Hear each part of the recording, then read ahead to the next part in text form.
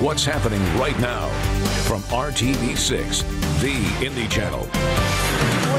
Tonight on a school cheating scandal that educators call tragic and unprecedented. Flanner House Elementary Charter School is accused of widespread cheating on the I-STEP test and will close next month.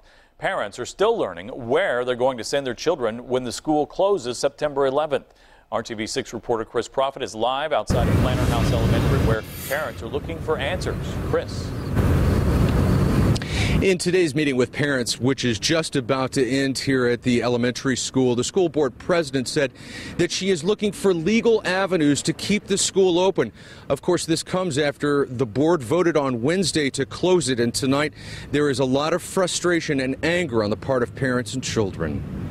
On Friday, school officials met again with parents one day after announcing that Flanner House Elementary will close in September amid a widespread test cheating scandal.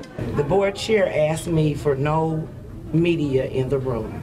Keeping reporters out of the meeting with parents, the school's board of directors have refused to publicly discuss allegations of teachers helping students cheat on the I-STEP standardized test over the last two years. State investigators found an unexplainable, extraordinary increase in test scores. Education officials say pressure on schools to perform well on the I-STEP test likely led to the cheating. It concerns me greatly the pressure that the teachers must have been under to feel that they had to do something like this. Um, it's, it's tragic all the way around. Tragic for children like a Kel Stone, whose parents must now find another school for her to attend. Well, honey, how do you feel? Mad. It's sad. Because you love it here? Yes. And so what does this do to her? Obviously, it's tearing her apart.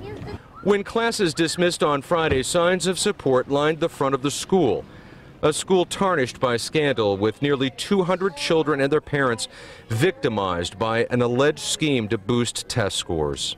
And one board member said today the vote to close the school was based on no faith in the administration to fix this problem.